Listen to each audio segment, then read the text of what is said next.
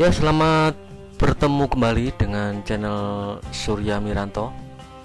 Apa kabar Anda semua pada hari ini? Semoga Anda senantiasa sehat selalu dan dimudahkan segala urusan dan diberikan kemurahan rezeki. Nah, pada kesempatan kali ini saya akan membagikan sebuah video tutorial yaitu mengenai cara setting printer Epson LX310 untuk kasir jadi cara setting printer Epson LX310 untuk kasir.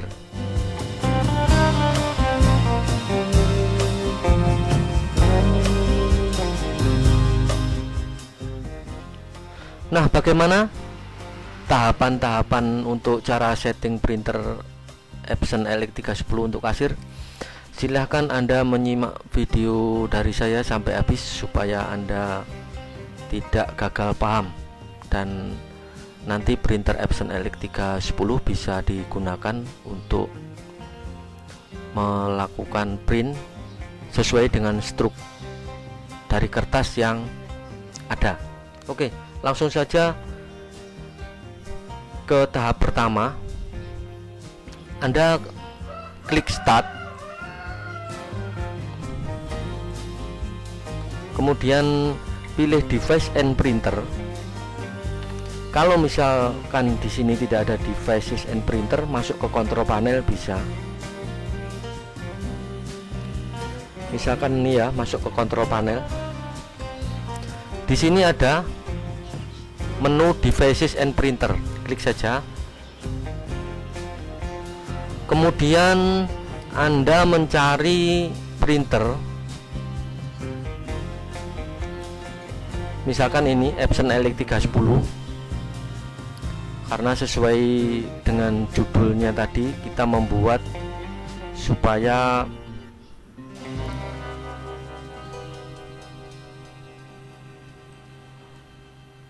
printer LX310 bisa ngeprint untuk kasir. Seperti itu.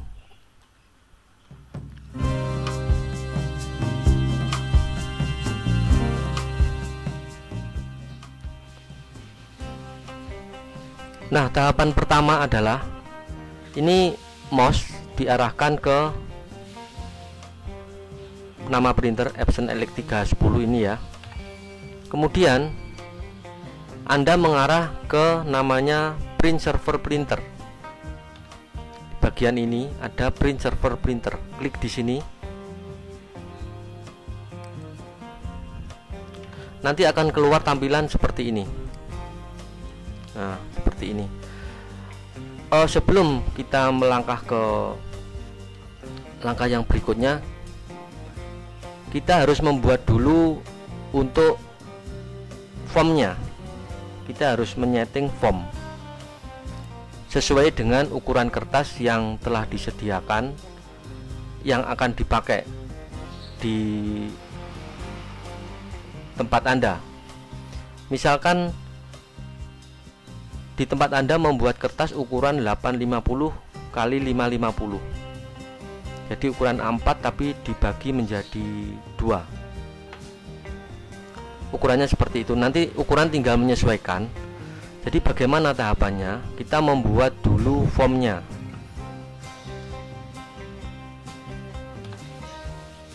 Untuk sesuai tampilan ini ada di sini create form di cawang. Kemudian untuk form name itu diberi nama. Misalkan saya memberi nama struk kasir. Seperti ini. Struk kasir new nah seperti ini ya. Langkah berikutnya adalah menentukan paper size ukuran kertasnya. Saya tadi mengumpamakan kertas itu ukuran 8 kali 5,5 ini tujuannya supaya nanti printer LX310 melakukan print sesuai dengan ukuran kertasnya ini. Jadi dia tidak jalan memanjang. Jadi dia berhenti pada saat kertas itu sudah sesuai dengan ukurannya itu sesuai dengan perforasinya nanti. Kalau sudah ukuran kertas ditentukan jadi ini ya 8,5 itu melebar. Nah yang untuk memanjangnya 5,5 saya beri nama struk kasir new formnya.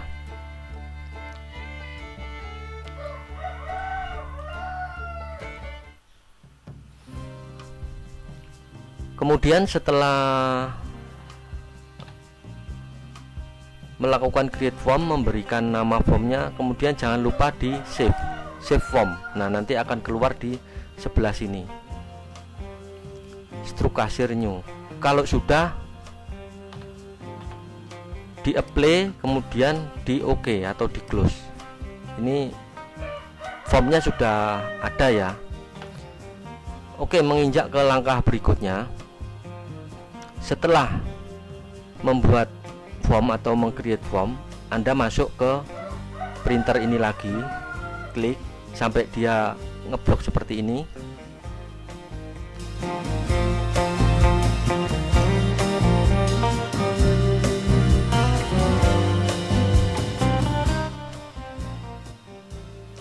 Kemudian di sini lakukan klik kanan masuk ke printing preference ya. Jangan lupa ya klik kanan masuk ke printing preference.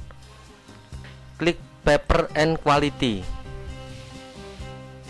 Kemudian klik advance kemudian di sini ada paper size.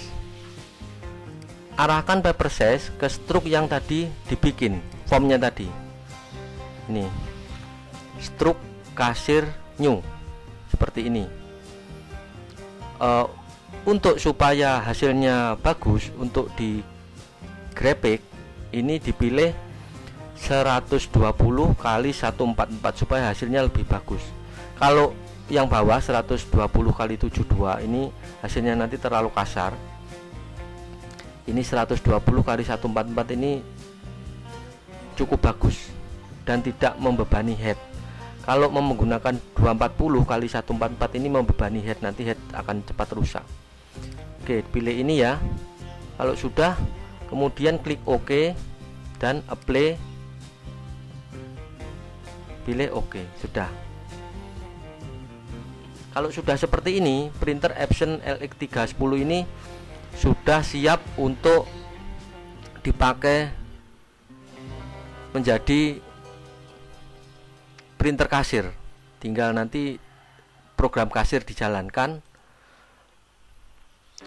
dan lakukan perintah print nanti sudah sesuai ukurannya. Itu cara setting printer LX310 untuk kasir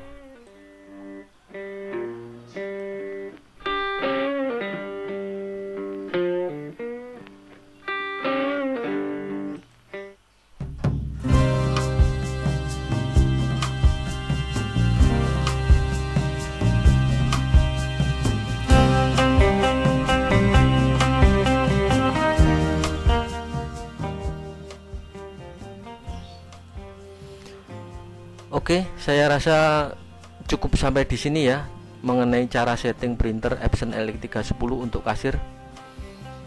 Semoga apa yang saya telah sampaikan di video ini membantu Anda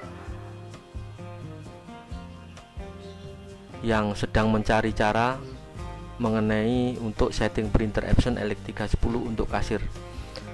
Yang menjadi harapan kami semoga video ini bermanfaat untuk Anda dan Terima kasih, semoga kita bisa bertemu kembali nanti di video saya yang selanjutnya, tentunya dengan tutorial-tutorial saya yang lainnya.